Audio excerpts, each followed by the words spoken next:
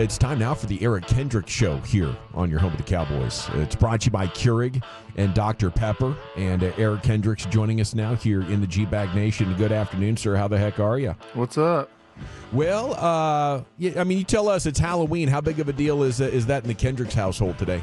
Um, I think we're we, we're gonna we're gonna meet up with uh, some family just for a little bit of uh, Halloween festivities. I'm, I'm I'm finding out right now from my wife texting me, but uh, Yeah. it should be fun. You know, I feel like uh, anytime you can get the kids together a little bit, you know.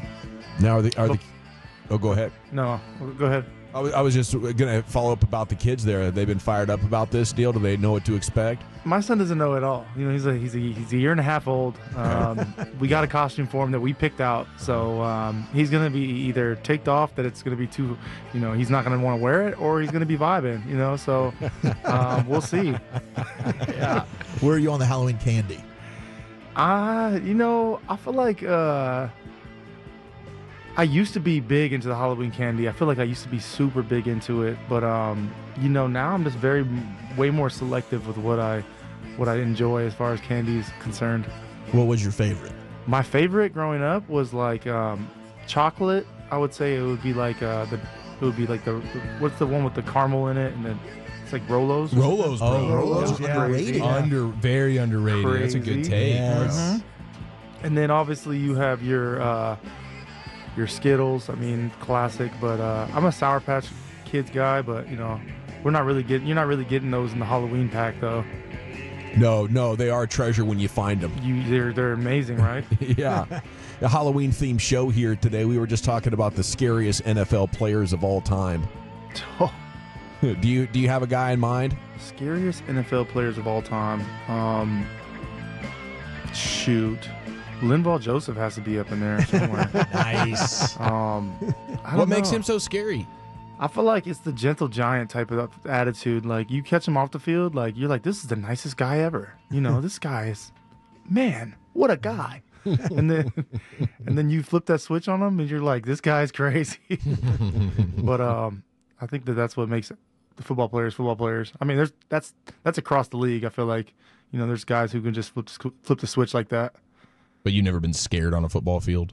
I've never been scared on a football field. I mean, oh yeah, no, actually, I, that's a lie. I have been scared on the football field when I was sixth, sixth grade, seventh grade, eighth grade, freshman year in high school. I was a little bit nervous out there. I can't lie.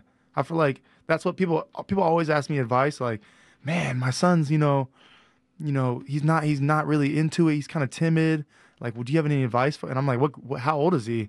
And they're like, and they're like, you know, he's he's 13 years old. And I'm like, oh wait, I was I was scared at that time too. So he has time. Kind of know? grow out of it. Yeah, you know, yeah. it's just like one. I feel like my sophomore year, you know, th- I I started to grow into my body. I finally matured, and then things started to click for me. And all of a sudden, like I was a football player. And since then, people have been scared of you. Just chase people down. Now, if you're not doing candy, what are you snacking on like in the film room or something? There's got to be, you got to have something next to you, right? It's this like the sunflower seeds, the pistachios. I'm a big seed guy, but um, I mean, shoot, I like potato chips. I guess I don't know. Big respect on that. Not, I'm, I'm not. I don't do like the Doritos or anything like that because the corn. But you know, I try to. If I do any chip type of chips, potato chips. What about these nuts? Um, I'm not a big. I'm not a big Deez nuts kind of guy. You know. How funny was that? How much have you guys talked about Deez nuts in the locker room this week? Uh, You've set a record, I'm sure. no. Um, I don't even know what you're referring to, but um, oh, I, I actually do know what you're referring to. actually, okay, okay. I'm like, what? What are you talking about? No, we actually hasn't talked about that at all. But um, yeah, that was man. Wait. funny. You've never Deez nuts to reporter? I've never done that, but you know, um, man, these, you know, report, reporters get kind of bold sometimes. You know, I was going to ask you that, Eric. Do you, there, and I'm not. You don't have to say anything specific, but do you guys do you get mad at reporters occasionally? Is it something that you know? I mean, you're a pro's pro when you handle things with. I mean, you've been great with us, but do you, do you get mad and just kind of keep it to yourself, or you know, how how do you handle things like that? you know, honestly, it's just when it when it when y- we when when I get upset when they take the human aspect out of it. Like, mm-hmm. okay, you're you're in our you know you're in our locker room, you know, Right. and it's like you know this is you know this is something that we care trem- we, we we care about you know we, Right. we we work our our butts off for so it's like obviously we have a ton invested into our, our body you know our, the way we feel the you know we're, we're we're our families you know what i mean like blood sweat and tears into this so we're invested into it and then when you when you come to us and then you you know kind of take the human aspect out of that and you just kind of treat us like we're, we're either stupid or you know um you know just blatantly kind of disrespect us like we you know we don't know you know what's going on that's when it kind of like you, you you you can get upset you know you have a human reaction you know Right. so it's like um you know just you know obviously they have you everybody has a job to do and you know i'm not i'm not sitting here saying that you know some days i'm not more irritable than others but at the same time like you know i try to treat everybody you know no matter who they are no matter you know what position of power they are in i try to treat everybody with respect you know and i hope that i get the same back Do you find the the media around the Cowboys to be overly critical? And and how would you kind of break down where where the Cowboys are at right now if you were to put your media cap on? I mean, I, media is just it's just gonna be what it is. What it is, you know. I feel like there's just there's more of it. You know what I mean? Um, I'm not gonna sit here and say it's more critical than others, but you know, obviously, I think it is. Um, but you know, I mean, this is the job we do. This is the you know, we we know what we're getting ourselves into. We gotta you know, we know what we got to do uh, this week, and um, you know, if we if we don't want to you know face bad bad questions like that, we got to play better. So hey, let's do it. Does it? I mean, and this is my last question on this, Eric. Does it does it bother you though when sometimes when media members talk about a specific play, and and and they really don't know how the play should break down? That you know that you, it turns into maybe some blame and hey that they don't know. Is, is that more uh, disappointing to you that, or is it just the the like you said the human aspect side of things? No, I mean that that definitely gets you gets you a little bit fired up too. You know, Twitter and things like that when it's like you're talking about a specific play and people Sure. think that you know you're you could be at fault, but you really can. You know, you're not gonna try to throw your teammates under the bus, but Right. like. You know, it's like you have no idea who's supposed to be blitzing, who's covering who. Right. Sometimes it's just the closest person to that person. So, you know, there's a lot of that stuff that goes on, but you know that's why you you you you know you try to keep things internal, and you know the guys on the team who know that's who you kind of care about. You got to lean on that. But you know, at the end of the day, like you, like I said, you know, um, that's the job we you know we, we, we have, and you know, unfortunately, uh, you know, things do get heated sometimes, but you know, um, it's part of it. Eric Kendricks with us on the fan. You were all over the field against San Francisco. I was wondering like what your GPS numbers were like after that, dude. I mean, you're, you're you're hauling ass to take a tight end, a halfback, those wheel routes. You were all over the place. Mm-hmm. Uh, yeah, no, um, definitely. You know, um, that's that's how I like to be. You know, at the same time. So, uh, you know, anywhere I can be to help, you know, I'm I'm down for it. So, um, you know, if I need to be doing whatever, let's do it.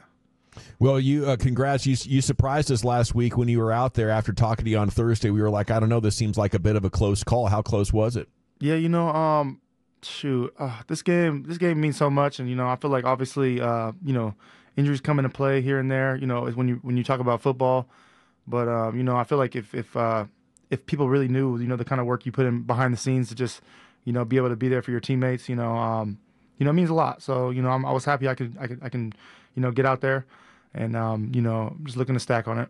Is pain something that you can block out as long as you have your strength, or how, how do you approach that? it's you know um it just varies you know uh it's something that you know everybody deals with especially you know on the field um there's everybody has a different level of you know different tolerance different you know things that affect you know maybe it affects your play more than others you know uh you know maybe it, it could it could, you could have so much pain where to where it's you're actually hurting your team and that's when you know you got to reassess and you're hurting yourself too so um you know uh, you know, everybody's different. I'm not, I'm, you know, I don't really know how to really answer that, you know. Um, but Were you know, in pain my, Sunday?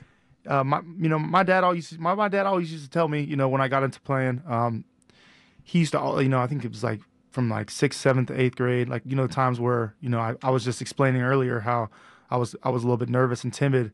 Um, they, my dad used to tell me as I got you know older and older, you know, I got to high school, senior year, I started getting offers. He used to tell me, uh, you know, this game, this game hurts, son. So Yeah. you know, um, are you are you sure? You know, type thing. Yeah. and Yeah. you know what I mean. This is the game we love, though. So You get to play against Atlanta this week. Kirk Cousins, a guy I assume you know pretty well. What's the book on Kirk Chains? Kirk, that's my guy. You know, um, not this week, obviously, um, but at the same time, uh, you know, got a lot of respect for him. You know, he's been playing great. Um, yeah, I feel like their offense they have they have a lot of weapons and uh, they spread the ball pretty pretty evenly. You know, they run the ball pretty well. Um, so it's going to be a good challenge. But uh, you know, uh, like you know, it's it's a it's a new week. You know, um, obviously things didn't go how we wanted to last week. That was last week, and I'm just trying to keep the vibes. You know, from the vibe. I'm just trying to try to be consistent on my approach and how I handle things, and and um, you know, it'll pay off. It, it, it'll pay off eventually.